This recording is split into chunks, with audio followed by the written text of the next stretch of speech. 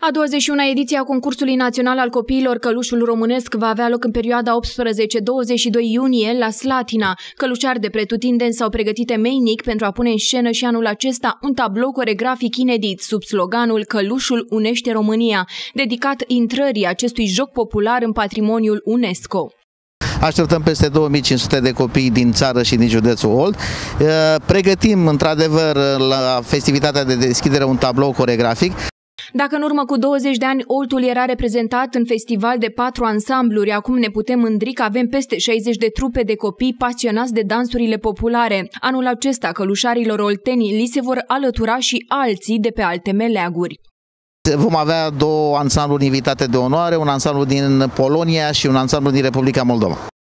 Slatina va fi din nou capitala călușului românesc cu ajutorul sprijinului financiar din partea autorităților locale și județene, dar și a Ministerului Educației. Bugetul concursului se ridică la aproape 100.000 de lei.